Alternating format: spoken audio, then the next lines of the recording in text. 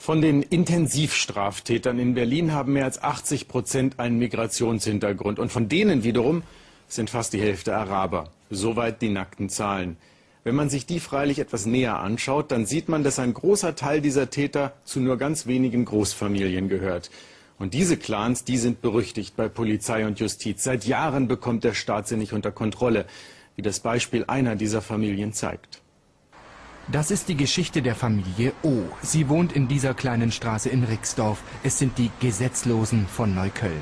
Hochkriminell, die meisten vorbestraft, Anfang der 80er Jahre aus dem Libanon eingereist. Von den Kindern geht keines regelmäßig zur Schule. Das Jugendamt traut sich gar nicht mehr her. Outlaws mitten in Berlin. Abschieben ist keine Lösung, die meisten haben ohnehin deutsche Pässe. Die Familie O ist nur ein Beispiel. Es sind Familien, die sich offenbar entschieden haben, außerhalb der Rechtsordnung zu leben. Das Strafregister von Familie O klingt dramatisch. Von den 15 Kindern leben nicht mehr alle. Zwei Brüder, Bilal und Ibrahim, sind tot. Auf der Flucht vor der Polizei nach einem Überfall gegen den Baum gefahren. Sie standen im dringenden Verdacht, einen unschuldigen Rentner am Potsdamer Platz totgefahren zu haben. Danach Fahrerflucht. Ein Fall, der deutschlandweit Schlagzeilen machte. Ein anderer Sohn, Mohammed, hat als zwölfjähriges Kind seine Lehrerin pensionsreif geprügelt. Das ist jetzt drei Jahre her. Der inzwischen 15-jährige Mohammed hat ein Gerichtsverfahren wegen siebenfachen Raubüberfalls hinter sich. Er wurde freigesprochen, weil der Belastungszeuge in letzter Sekunde die ganze Schuld auf sich nahm.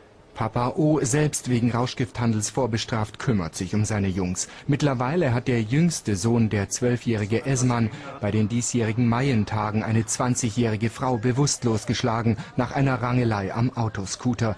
Der lakonische Kommentar von Vater O, als die Polizei das Prügelkind zu Hause ablieferte.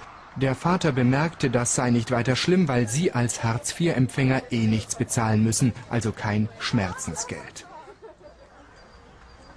Wir befinden uns hier in einem Bereich, wo Kriminalität äh, erzogen wird, gelebt wird äh, und wo das äh, Outsider-Leben, wir sind nicht wie die anderen, wir sind nur wir selbst, nur unsere eigenen Regeln gelten wo das äh, zum Gesetz und zum Naturgesetz der Familie erhoben ist. Außerhalb der Sippenstruktur wird von diesen Menschen nichts weiter anerkannt.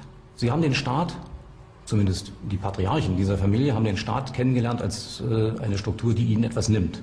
Sie hat ihnen die Heimat genommen, das Vermögen genommen, fast das Leben genommen. Sie haben hier in Deutschland den Staat als jemanden kennengelernt, der anonym gibt, Sozialhilfe zum Beispiel.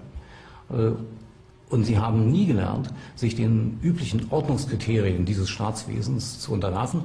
Abstrakte Ordnungskriterien gelten für sie ohnehin nicht. Für sie gelten nur Durchsetzungsstrukturen, also Machtstrukturen. Wer so lebt, will nicht gern gestört werden. Als wir im Februar einen Hausbesuch bei Familie O machen, werden wir zwar nicht bedroht, aber immerhin wüst beschimpft.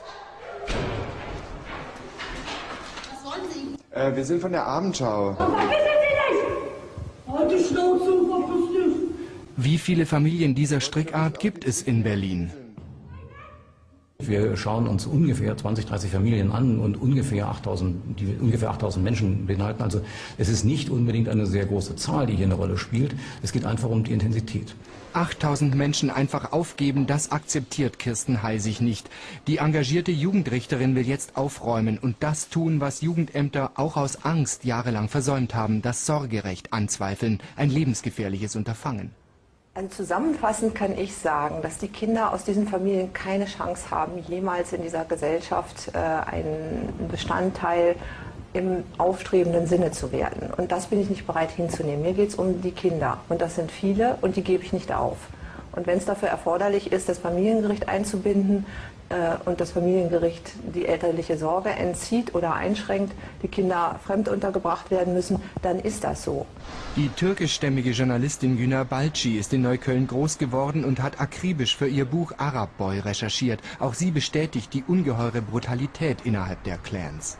Natürlich müsste man sich viel mehr für diese Leute verantwortlich fühlen, also ganz speziell für die Kinder und für die Jugendlichen, weil die wachsen ja in ein System rein, äh, wo ganz klar ist, wie dann ihre Perspektive ist, nämlich hoffnungslos. Das heißt, also die werden nie in dieser Gesellschaft hier ankommen.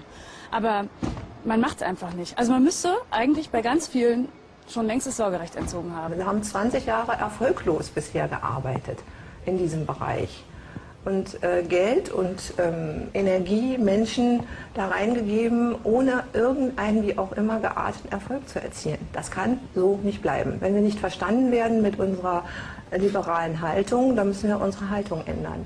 Eine Zukunft für die verlorenen Kinder. Auch Familie O soll das zu spüren bekommen.